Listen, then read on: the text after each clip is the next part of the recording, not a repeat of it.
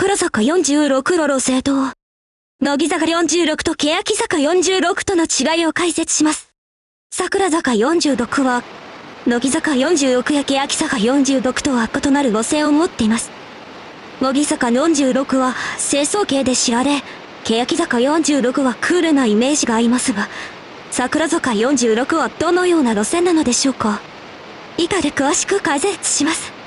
桜坂46の路線について。桜坂46は、乃木坂46や欅坂46と比べて、よりこうってパワフルな路線を持っています。彼女たちは、明るく元気なイメージで、ダンスパフォーマンスや歌唱力にも優れています。また、彼女たちの楽曲はポップで、キャッチーなものが多く、聴く人を元気にさせる力があります。乃木坂46と欅坂46との違い。乃木坂46と欅坂46は、それぞれ独自の魅力を持っていますが、桜坂46との違いもあります。乃木坂46は清楚系アイドルグループとして知られており、メンバーたちは可愛らしさや清潔感を大切にしています。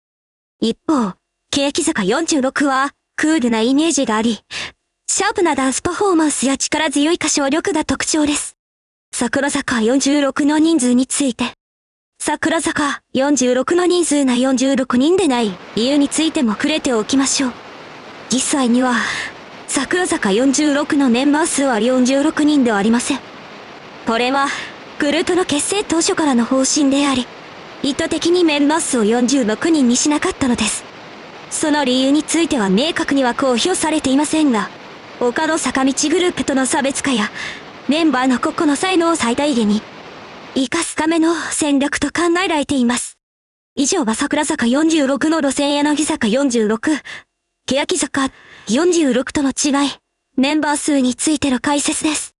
桜坂46の活動を応援している方々にとって、より理解を深める一助となれば幸いです。後半をご愛いただき、ありがとうございます。この動画が気に入っていただきましたら、ぜひ、あなたのコメントもお待ちしています。チャンネル登録もお願いします。